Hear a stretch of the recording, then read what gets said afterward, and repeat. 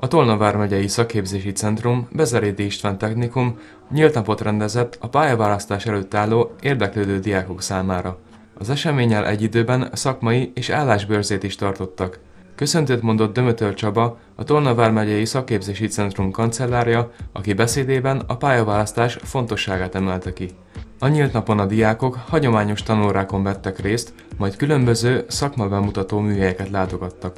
A kereskedelmi szakbemutatóján a látogatók interaktív módon segítők közreműködésével ismerhették meg az ágazatot. Itt eh, kipróbálhatják az alapvető kereskedői feladatokat a diákok, ilyen például ugye a termékek beárazása, eh, itt használhatják a kétsoros árazógépet, aztán a beárazott terméket beüthetik a pénztárgépünkbe, illetve egy kis eh, áruismereti feladatot is megcsinálhatnak valamint az áruvédelmi kaput is használhatják, hogy hogyan történik az áruvédelmi címkék felhelyezése a termékekre, ezeket tekinthetik itt meg a műhelyünkben. A kereskedelmi értékesítő az a három éves képzésünk, ott az első évben egy ágazati alapoktatás folyik, 9. év végén ágazati alapvizsgát tesznek a diákjaink, és 10-től indul a szakirányú képzés, ahol már a szakmai tantárgyakat tanulják, illetve duális partnereknél töltik a gyakorlati idejüket illetve van a kereskedő és webáruházi technikus képzésünk, ez egy 5 éves képzés, ott 9-10-ben folyik az ágazati alapoktatás, és 11-től kezdődik a szakirányú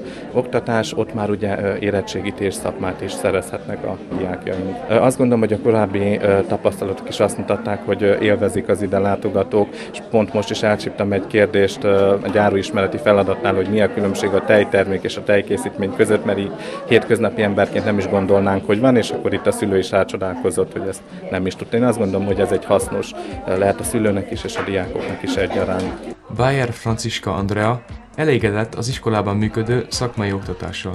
A nyílt napon a különböző feladatok megoldásában segítkezett. Az elején én féltem tőle, hogy nem fog tetszeni, de végül meglepett, és nagyon jó.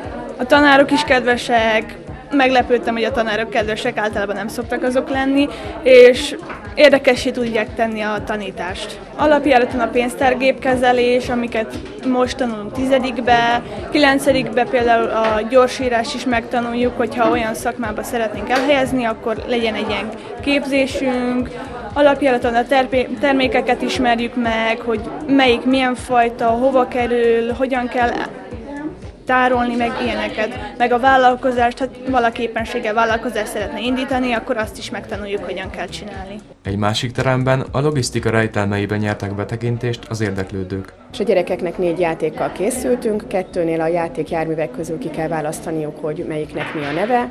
Aztán a táblán, hogy vontató vagy vontatott járművek, ezeket kell csoportosítaniuk, raklapra kell feltenniük a az építőkockákat nyilvánvalóan biztonságosan, úgyhogy minél több kocka elférjen a raklapon. Öt éves képzésben folyik a logisztika oktatása, az első négy évben ugye a az első két, év, két év után ágazati alapvizsga van, aztán a negyedik év végén érettségit tehetnek, közismereti tárgyakból, irodalomból, történelemből, matematikából, és akkor az ötödik év végén kerül sor a logisztikai érettségire, illetve a nyelvbe. Az ötödik évben a logisztikát és az idegen nyelvet magasabb óraszámban oktatjuk.